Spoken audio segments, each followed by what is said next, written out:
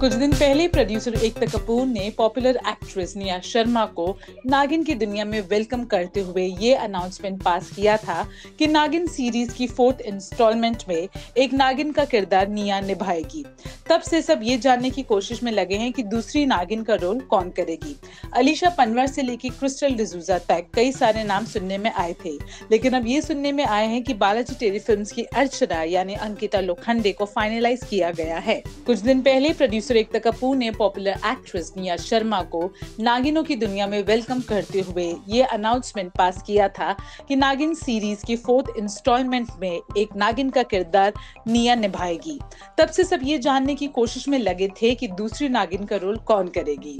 अलीशा पनवर से लेके क्रिस्टल जजूसा तक कई सारे नाम सुनने में आए थे। लेकिन अब ये सुनने में आया है कि बालाजी टेलीफिल्म की अर्चना यानी अंकिता लोखंडे को फाइनलाइज किया गया है। सीरीज़ की प्रोड्यूसर और क्रिएटिव एकता कपूर ने अब तक इस बात पर कोई कॉन्फर्मेशन नहीं दिया है।